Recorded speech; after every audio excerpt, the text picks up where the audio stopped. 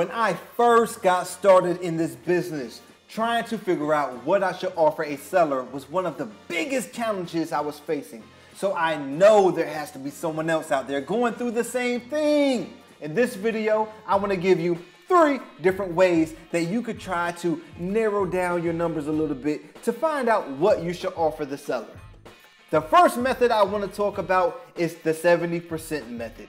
It's when you take the ARV of a property minus 30%, which will leave you with the 70%, minus repair costs, minus what you want to make as a wholesaler. That will give you what you should offer the seller. In all three different methods, I'm gonna use the same numbers. $150,000 as the ARV, $25,000 as the profit, and $20,000 as the repair cost. Let's jump straight into things. $150,000 as we said, we will go ahead and we will subtract 30%. We'll leave you with $105,000. You want to go ahead and take off the $20,000 in repairs that we talked about. We'll leave you with $85,000.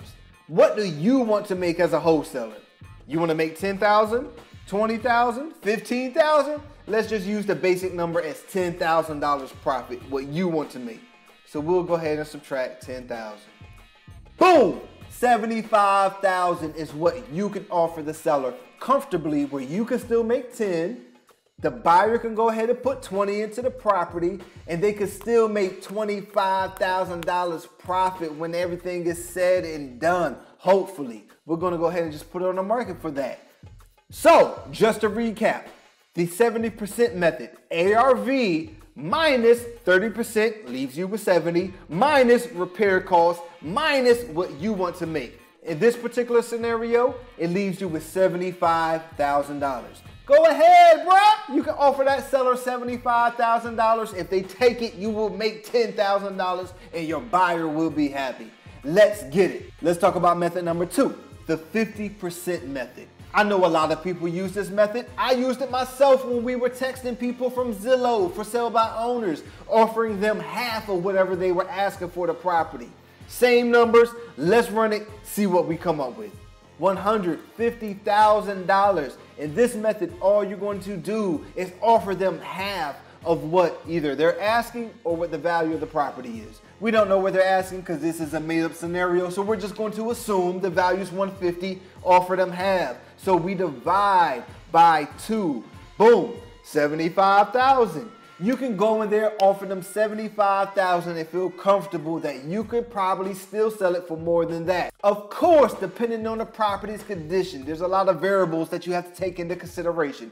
But for this little scenario, we're just going to assume the property does need some type of work and 75,000 to what you can go in there and comfortably offer the seller and know that you can still possibly make some money. Now, compare this to the 70% method.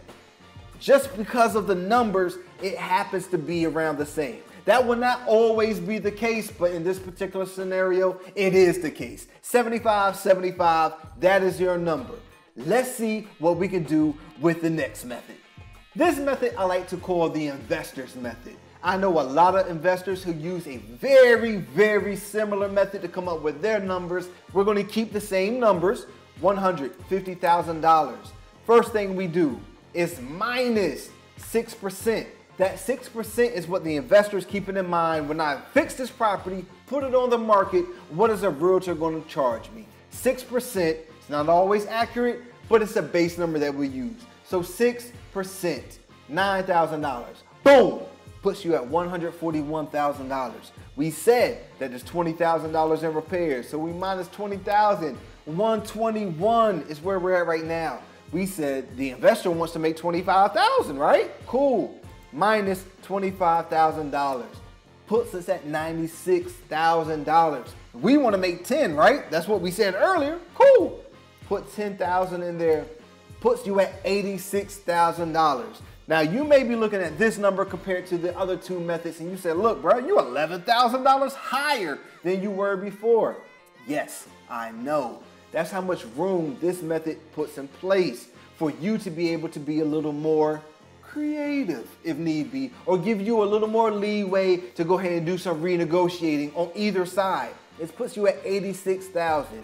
Now, using these numbers, I feel that if I can get this property at 86,000, a buyer should feel comfortable buying it and I will be able to make $10,000. Of course, that leaves room for negotiating on both sides. What I could do is come even lower. We know the other properties were going for $75,000 possibly. So we can come that low and know that we can go up to 86,000 and it will still fit our model. Something that will work for us. Something that investors, at least in my area, use to calculate their numbers to see if things make sense for them. And I know if I'm doing what the investors do, it's going to be hard for me to have the wrong number. I use this method. I subtract what I want to make. Now I have room for negotiating. And if I need to start even lower, which this method shows me I clearly could if I wanted to, then I could come in and make either more money or give my buyer a bigger spread or give the seller more money to where they feel like they have won as well because you want it to be a win-win for everyone, right? Of course you do. Using these three different methods should help you come up with a number that you feel comfortable with offering the seller. Now, as you continue to progress and you become more familiar with your market and the numbers and repair costs and what your particular buyers are looking for, you'll be able to narrow these numbers down to where boom, boom, boom, it's a no-brainer every time. This is the particular method I like to use, number three, because it helps me narrow down to an investor's mindset and it helps me get my numbers so tight that I know I have room to play with on both sides. And as long as I continue to do things that way, every time I see a property that fits this criteria and the seller is with it, I'm going to sell it, I'm going to make some money, and it's going to be hard to lose. Finding what method works best for you is going to take trial and error, of course. But once you find it, stay with it, focus on it, refine it, make sure it fits you 100%, and you would be successful in this business when it comes to making offers to sellers.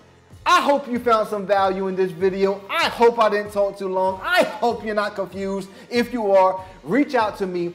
Help with wholesaling at gmail.com. I answer all questions. Reach out to me. I'm here. Comment under this video, whatever it is. I will do my best to help you because your success is important to me. Please believe that.